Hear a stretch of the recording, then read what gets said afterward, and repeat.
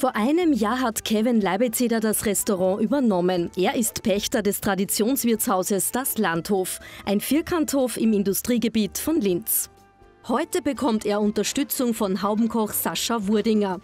Die beiden sind schon gemeinsam in der Küche gestanden.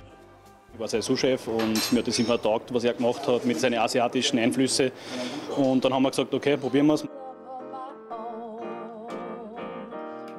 Der Menüabend startet im Gastgarten mit dem dazu passenden Aperitif. Prosecco mit ein bisschen Yuzu-Saft drinnen. Yuzu ist eine japanische Zitrusfrucht und das hat ein bisschen eine Bitternote drinnen, darum ist das perfekt zum Starten und für das Menü ein guter Einstieg. Währenddessen ist in der Küche voller Betrieb. Die ersten Teller für die Vorspeise werden vorbereitet. Wichtigstes Werkzeug die Pinzette. Die Gerichte zeigen die Vielfalt von Haubenkoch Sascha Wurdinger. Er holte sich auf der ganzen Welt Inspiration. Mallorca, Sommer, Strand, Party in jungen Jahren und dann äh, Portugal halt bei Dieter Kaschina, war super. Äh, dann runter von der Insel nach Salzburg, war jetzt nicht so mein Ding, aber ich habe dann meine Frau kennengelernt und deswegen bin ich jetzt halt hier. Also von London, Paris, New York, Tokio wurde es dann halt Linz. Sascha Wurdinger kochte insgesamt 15 Hauben. Zuletzt im Casino Linz, in der Schlossbrasserie und im Herberstein.